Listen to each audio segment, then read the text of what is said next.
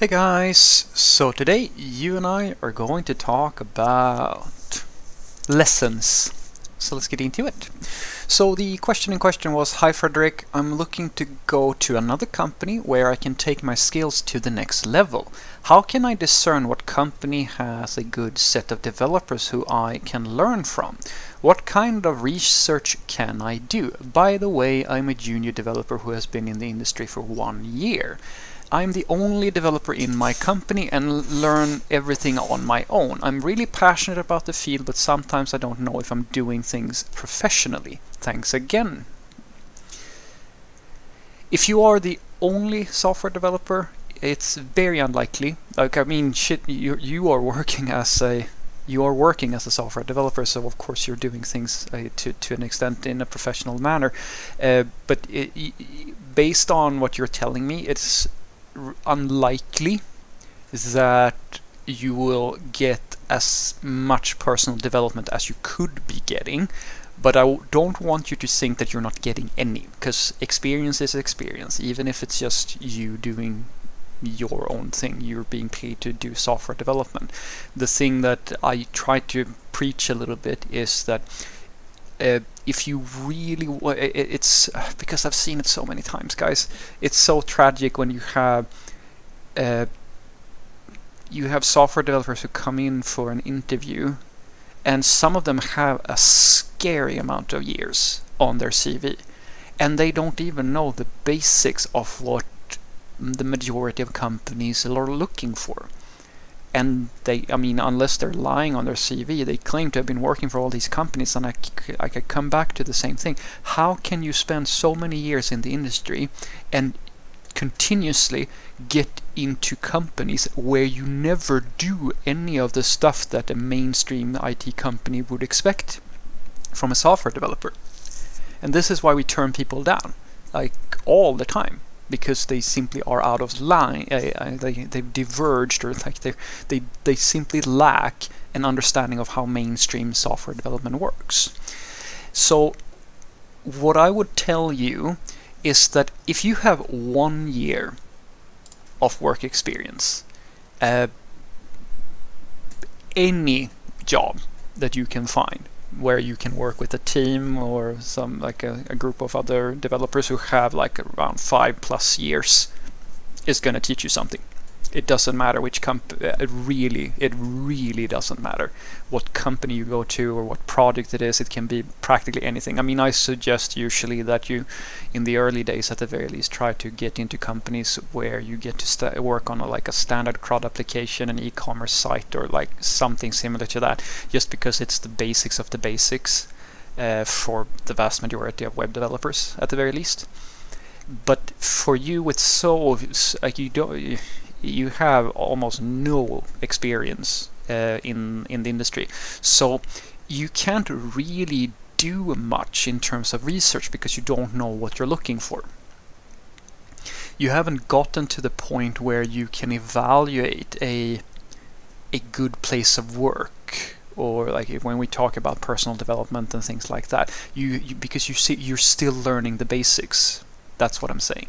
Even after a year you're probably, uh, like I would say, try to start figuring out what's going to develop you if we're talking like the more higher level stuff after a little while uh, in the industry where with a few at least a few more years the thing that I argue to you is that you should focus on finding a company that uses relevant tools. That's something that you can do.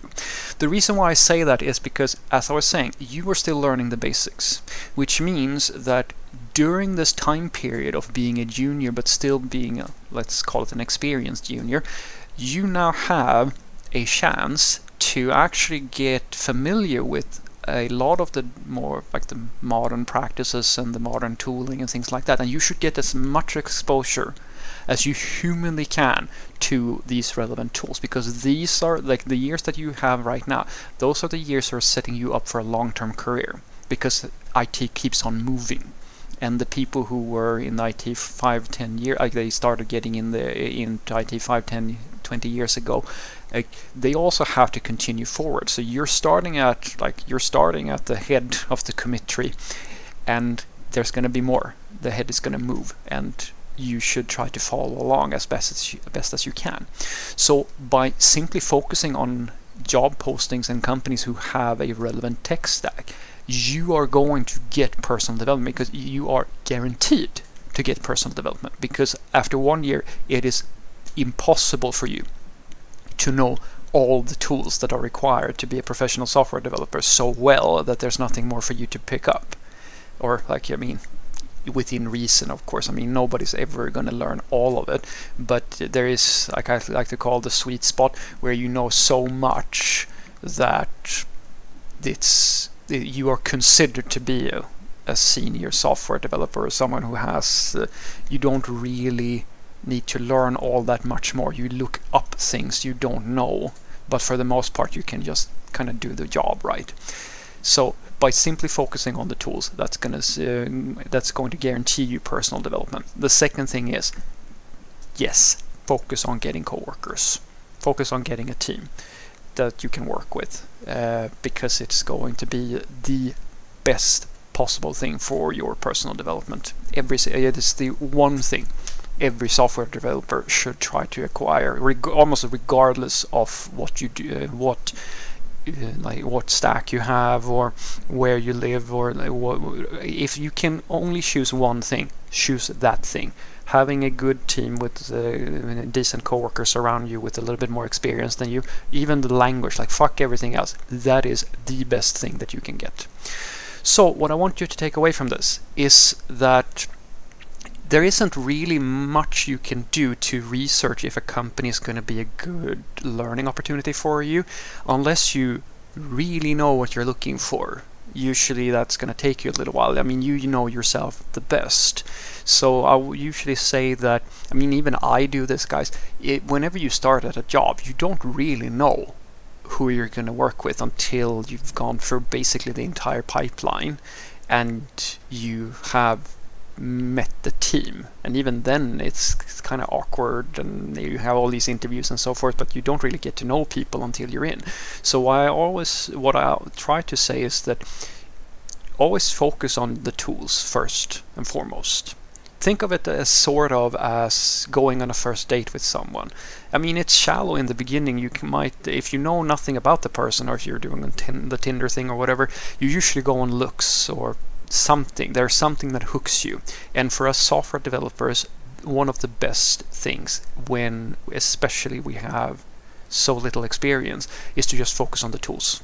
That's the that's the the shallow thing because uh, in these early days it's more important for you to get as much practice as possible with those tools than to try to find a company that is going to teach you a lot of management things or higher like architecture like these more complicated things that are much more senior level.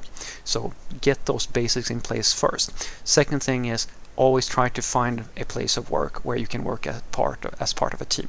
Because if you have one year of experience or two years I would even go as far to say three years all, the odds of you being ready to take on uh, to, to and not be able to find a place of work where you're going to develop as much is fairly low.